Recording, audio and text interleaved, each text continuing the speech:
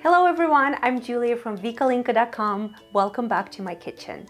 Today we will be making everyone's favorite pasta dish, spaghetti carbonara. When people think of carbonara, they immediately think of rich, cream heavy, and calorie heavy dish. It is not actually the case with the original Italian carbonara. It is light and very flavorful. It is also very quick to make. It takes less than 15 minutes to throw together. So keep this dish in mind for the times when you're tired, you don't want to spend hours in the kitchen, but you want something really nice that tastes like comfort food. This dish is for you. Spaghetti carbonara only requires four ingredients that you usually will have in your kitchen. You will need spaghetti, eggs, pancetta or bacon, and Parmesan cheese. Since the sauce is only made with egg yolks and Parmesan cheese, there's a little trick how to make the sauce without scrambling the eggs. So that secret is you actually have to do the mixing off the heat. But enough talking, let's get to it. Spaghetti carbonara is quick, so it's best to get things ready before starting. Prepare the eggs by separating the egg yolks and whites.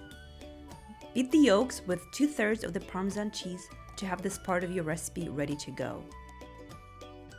Boil a pot of water with a good pinch of salt. Throw in the spaghetti and cook it according to the package instructions. Heat a frying pan over medium heat and then when hot add the pancetta or bacon. Once the pancetta has started cooking, add 2 whole garlic cloves. Let it all get nice and brown, then remove the garlic. The garlic flavor will have infused the pancetta and oil, so no need to keep it in. Add the cooked pasta to the pan with reserved water. Time to add the egg mixture. I take the pan off the heat for this so the eggs don't get scrambled. Toss it all together until the pasta is coated. Don't worry, you're not eating raw eggs. The residual heat from spaghetti will cook them for you. When all done, top with some freshly ground pepper and some Parmesan cheese.